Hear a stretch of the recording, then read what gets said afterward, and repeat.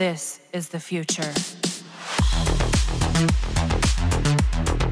I just want to say a huge thanks to all those new members of our Discord server. We have grown so fast, and it's all thanks to you. We will be having an event this weekend so, I hope to see you there on our server. Link to our Discord server is on the video description if you want to join the grind team. Thank you so much and now, let's get into the video. This is one of those updated build video that I have been asked by some of you guys. In this video, let's try to discuss about Mirage and what I think to be the best build for her.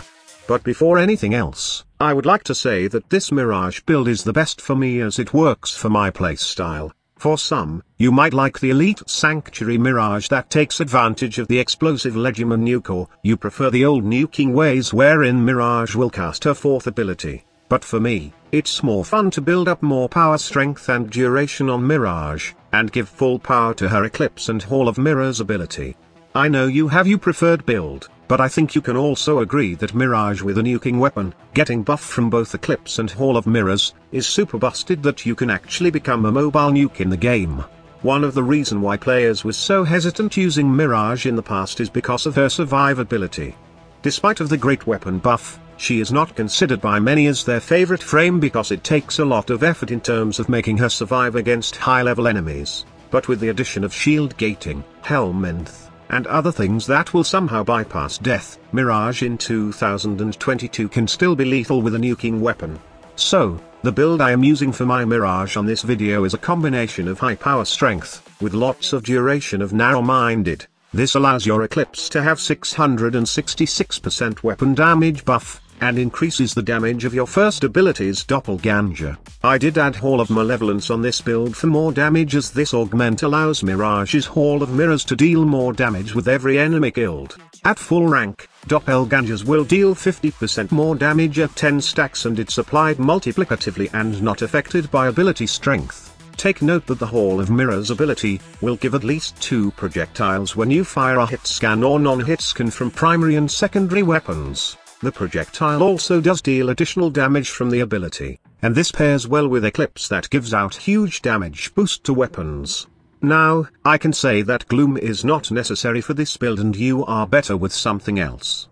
Gloom does help you regenerate life per hit, but honestly, in high level plays, it's better to have invisibility or invulnerability. Shields are also helpful to take advantage of the shield gating mechanic or, if you don't want to use any Helminth builds on your Mirage, then you can just simply add the Sly Vulpaphyla in your loadout. The cat has some evasion bonus and also, Martyr Symbiosis gives you that safety net that you will bypass death every after 30 seconds.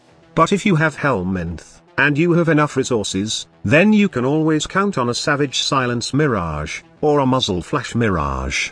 An All-Star Mirage would also be great for damage reduction, since it pairs well with this low-range build with high duration. There's a lot of ways to survive while using Mirage with the use of Helminth system but, if you prefer to step away from the Helminth system, then Sly Vulpaphyla would be enough, and then you can add some damage reduction mods while airborne to help you survive. Hell, adaptation would also work well, especially if you pair it with pillage but, it's really up to you. The best way to survive in Warframe is to see anything die.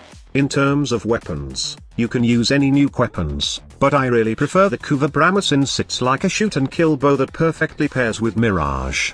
The Bramma does get extra 2 projectiles with heavy damage, and it can easily melt steel path enemies. It can also one or two shot acolytes which is really perfect for farming steel essence.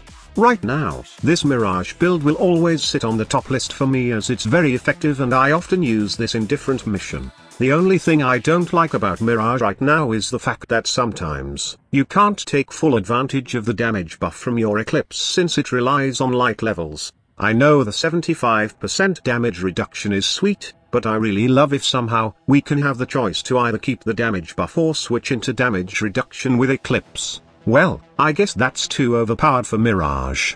Nuke Bramma Mirage is still top dog in my Mirage builds and if you are new to the game, then you should try this one out for yourself. Thank you so much for watching. Squad Leader signing off.